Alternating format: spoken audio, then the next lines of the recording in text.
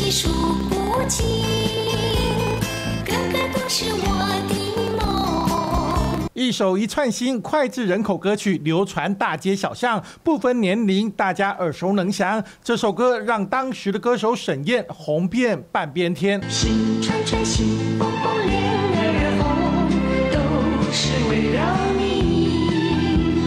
不过，移居美国的沈燕传出耶诞节前在纽约家中过世，得年六十岁。他说他其实是在睡梦中离世，所以我想，呃，也是很安详啦，对。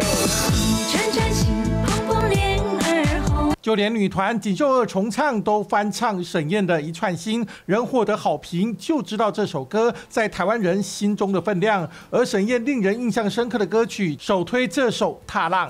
山上的鲜花开上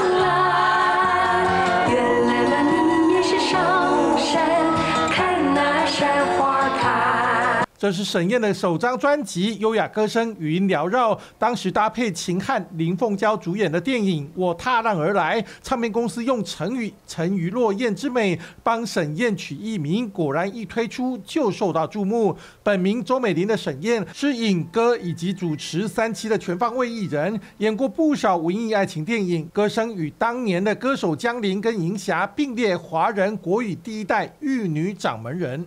跟那时候感动人的这一些呃情感都还留在我们身边嘛，所以其实还是蛮怀念那个时候的感受的。当时的沈燕红遍半边天，却在一九八七年闪婚后选择移居美国。近年来都会抽空回台，却因为疫情关系没再踏回家乡台湾土地。如今美国过世，沈燕的歌声继续留在歌迷心中。三立新闻肖宇志、陈彦豪台北唱报道。